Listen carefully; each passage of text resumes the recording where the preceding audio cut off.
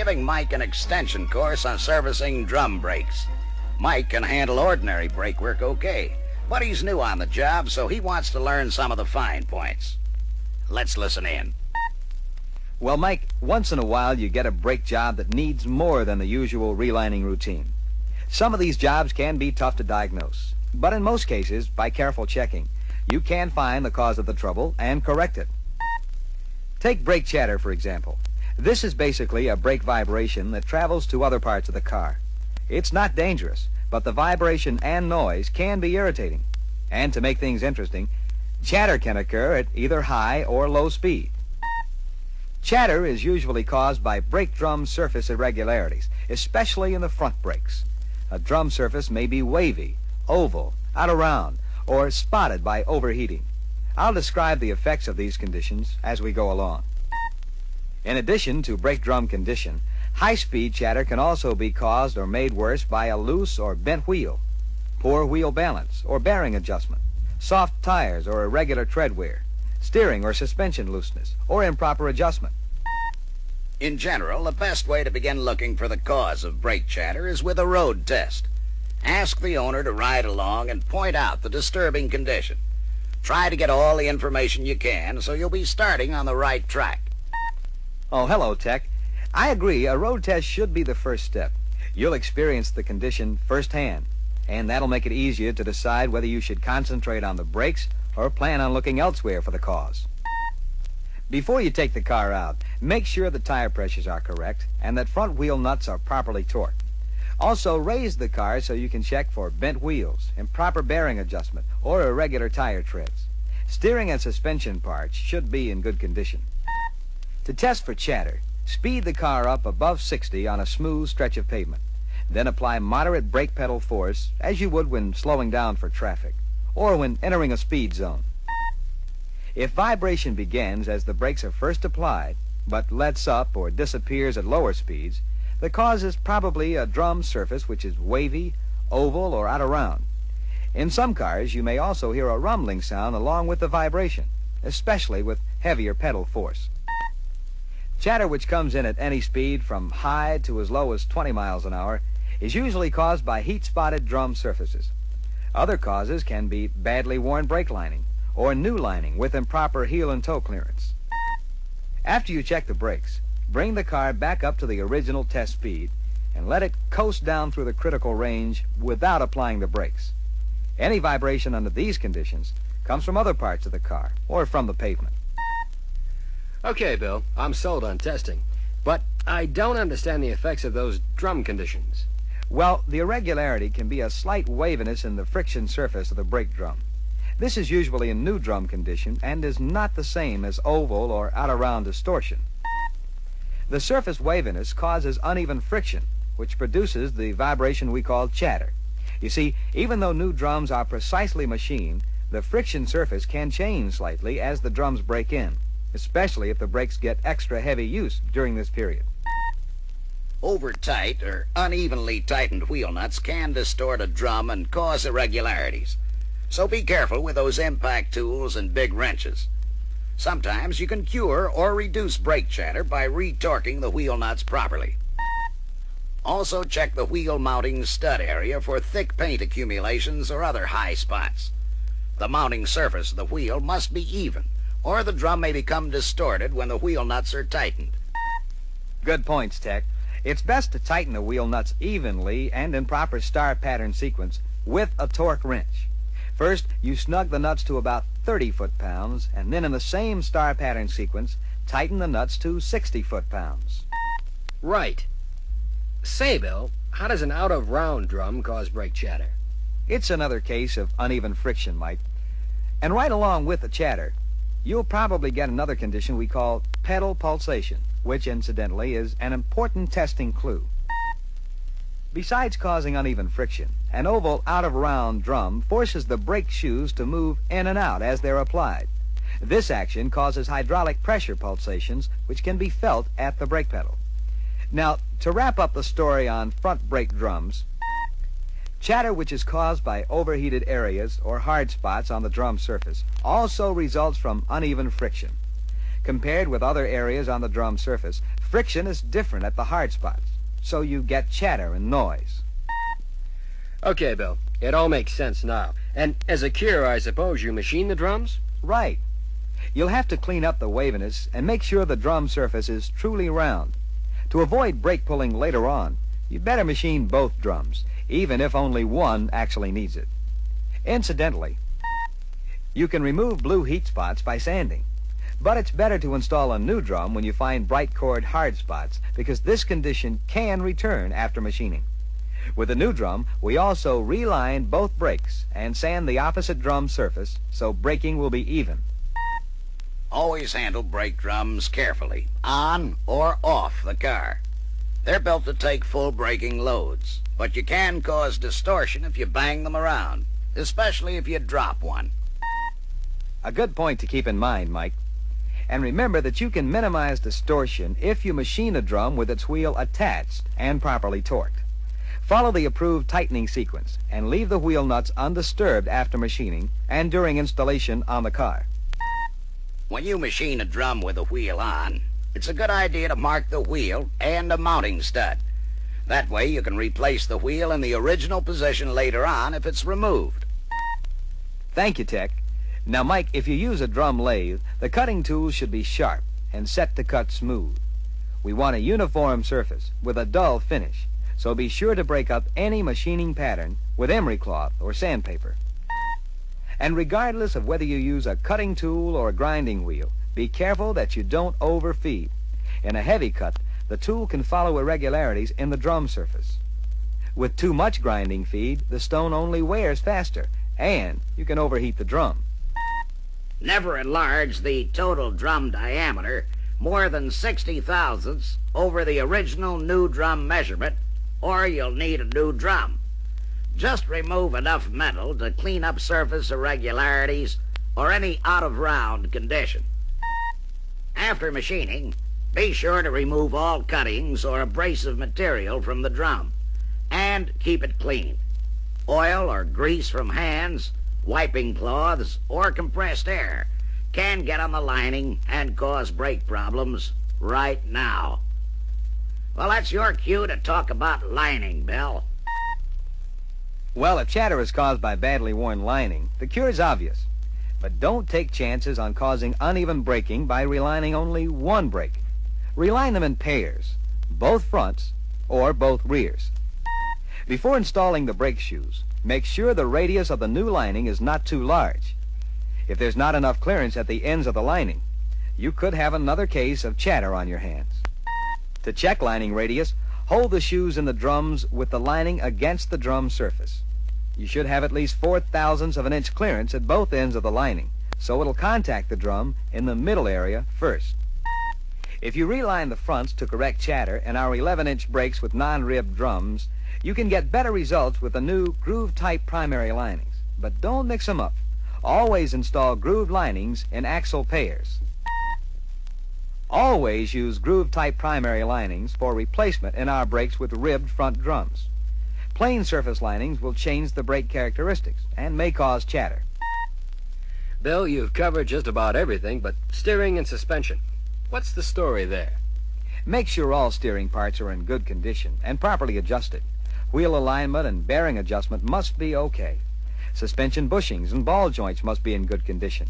And the strut bushing nuts must be properly torqued. And don't ever let me see anyone try to cure chatter by fooling around with a suspension design. You're only asking for trouble if you do. If a suspension change would stop chatter vibration, you can be sure they'd do it at the factory. okay, Tech.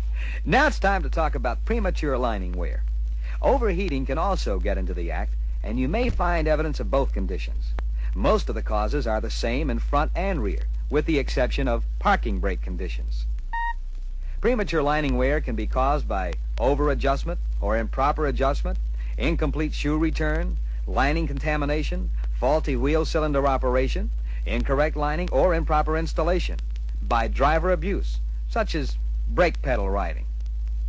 Did I skip any, Tech? Nope, but we're about to skip out of the groove on this side of the record. You can fill us in on lining wear as soon as someone flips the record. A brake can over or under adjust if the automatic adjuster cable is bent or not installed properly. Misalignment shortens the cable, and this causes the improper adjustment. Just make sure no cable ends are kinked when they're hooked up. If you install a new brake adjuster overload spring, make sure that the hooks face outward. Use the new type green or blue painted spring, and be careful that you don't bend it out of shape when installing it. Thank you, Tech. Mike, you can also get over adjustment if the drum is badly out of round or off center. You see, as the drum turns, you get back and forth shoe movement, which can work the adjuster when it's not needed. The total out of round indication of any drum should not exceed six thousandths. You may find a rear drum which is slightly distorted and jammed on because the bolt circle and drum pilot or mating drum holes are not concentric. First, try a new drum. But if there's flange pilot interference at one point, even after trying different bolt holes, you may also need a new axle shaft. If a rear brake drum or axle flange has too much runout, the linings can also wear out in a hurry. Over adjustment is no problem here, but a wobbly drum can cause lining drag and wear even when the shoes are fully retracted. Improper brake adjustment is basically a parking brake condition. The main point to understand is that linings can drag and wear if the parking brake adjustment is either too tight or too loose. To do the job right, always remember to adjust the parking brake after the service brakes. To check parking brake adjustment for being too tight, first make sure the brake operating lever is fully released. Then remove both rear brake drums so you can get at the parking brake struts. Now on both brakes, Seat the shoes against the anchors if necessary. There should be a slight amount of in-play at the strut in either or both brakes when the cables are fully released. If neither strut shows in-play, the parking brake adjustment is too tight. At the other extreme, if the parking brake adjustment is too loose, a cable return spring can extend far enough to move the strut operating lever and secondary shoe rearward. The spring force causes the lining to drag and wear rapidly. When the drums are off, you'd better check the parking brake strut, lever, and cable in both brakes to make sure there's no sticking or binding that could interfere with the full release of the brake shoes. And be sure to check both cable return springs for signs of heat damage. A spring that's been overheated may not release the cable properly. If there's any doubt, install a new cable and spring assembly. Right, Tech. And on 11-inch brakes, it's best to replace with the improved type brake cables. They're easy to identify because the spring on the left side assembly is zinc colored and the one on the right is blue. Always install them in pairs. If you mix new and old type cables, you can cause brake drag. Weak or damaged shoe return springs in any brake can also result in brake drag and rapid lining wear. Anytime you find return springs discolored by heat or with distorted end coils, be sure to replace them with new ones. If brake shoe return springs are heat weakened, you'll probably find that the shoe hold down springs are also affected and should be replaced. Do not stretch hold down springs, trying to increase their tension. The added spring load can cause extra shoe drag on the support plate and make them hang up. When you reline, or if you suspect that shoes do not return properly, be sure to check the contact areas on the brake support plate and the tabs or loops on the shoes. These areas must be free of burrs or grooves which could hang up the shoes. You can use a fine cut file to clean up any irregularities. When you install new or reline shoes, always put a thin coat of approved lubricant on the brake support plate platforms. But don't get it on the linings or the job will bounce back into the shop. And while we're on the subject, you'll probably find the shoe contact areas dry in rear brakes if there's a repeated chirp noise when you apply the brake slightly. The chirp results from back and forth movement of the shoes, so remove them and lube the contact areas. And that brings us to lining contamination. Oil, grease, or brake fluid on the lining can make a brake grab or slip. Grabbing also causes brake pull toward the side with the contaminated lining. If it slips, the brake on the opposite side works harder and causes pulling, and it wears out sooner. In addition to careless handling, Lining contamination can also result from leakage at axle shaft seals, front wheel bearing seals, or leaky wheel cylinders. The lining, of course, must be replaced when other repairs are made. If you mix different types of front wheel bearing lube, the mixture can become runny and leak out onto the lining. So play it safe. Wash out all the old lube and don't overdo it when you repack the bearings. Be sure to install new seals when you remove the bearings for any reason. I'll remember, Tech. Bill, how does faulty wheel cylinder operation affect lining wear? Well, a sticky or jammed piston can hold a brake shoe out in the applied position. Of course, if the shoe does not return all the way, the lining will drag and wear rapidly. A piston which is stuck in the return position does not move its shoe outward, so you lose quite a bit of braking force at that wheel. This makes the other brakes work harder, so their lining wears faster. The good brakes may cause a pull to one side, especially when front brakes are affected. What makes a piston stick, Bill? Usually you'll find that corrosion makes a piston stick or jam. The corrosion results from water or splash which gets past damaged or deteriorated wheel cylinder boots. Wherever possible, check for water or evidence of corrosion under cylinder boots when you look for causes of uneven or excessive lining wear. Hydraulic system parts can also corrode from the inside as a result of water in the brake fluid. In or out of the system, the fluid must be free of water and absolutely clean, or brake problems will develop. Strange as it may seem, brake fluid soaks up moisture like a blotter. In fact, fluid which is exposed to moist air only a short time will form vapor pockets at relatively low brake system temperatures and cause loss of pedal resistance. Keep all brake fluid containers closed airtight when they're not in use. And use a brake bleeder tank which isolates the air from the fluid. After all, a compressed air hose can pump in plenty of water. Thank you, Tech. Now let's switch to master cylinders for a minute. When you replace a master cylinder, check the part number to make sure you're installing the correct assembly. Some master cylinders look alike on the outside, but have different front and rear piston displacements. Any questions, Mike? Nope, I'm keeping up okay. And I'm ready to hear about incorrect linings. Well, the main fact to remember is that linings on our original equipment and Chrysler replacement shoes are tailored to each model's braking requirements. Different linings can change the original braking characteristics, can wear faster, and may cause heat spotting on drums. Another reason for using approved shoes is possible interference in the fit of shoes obtained from an outside source. You see, there's enough similarity in the appearance of our shoes and those used on competitive make cars that there could be a mix-up. Now, as for improper installation, we're mostly concerned with someone not following the procedure described in the service manuals. For example, installing relined shoes without checking the lining radius in the drum. And as I mentioned earlier, be sure to replace heat-damaged or distorted springs with new ones. You install the primary shoe return spring before the secondary to prevent spring anchor pin damage and possible brake clunk. Before installing the rear drums, Always loosen the parking brake adjustment enough to get plenty of in-play at one of the brake operating struts. This will prevent interference and possible brake drag when the rear brakes are adjusted. After the service and parking brakes are adjusted, test drive the car. You can forget anything you've heard about burning in new linings. This old practice only causes trouble. To protect new linings from abuse, the owner should be cautioned against unnecessary, heavy brake usage immediately after a reline. And that brings us to the final cause of premature brake lining wear, pedal riding. Here, instead of tools, you'll need the power of persuasion to correct the condition. But with a little appeal to their pocketbook sense, most customers agree to change their driving habits. Well, Mike, you now have a lot of answers to brake problems, and plenty to think about when you do your next brake job. We zeroed in on brake chatter and lining wear as the main line for this meeting. But we covered all the bases on the way. The points we covered in this film should help any master technician do brake work easier and better.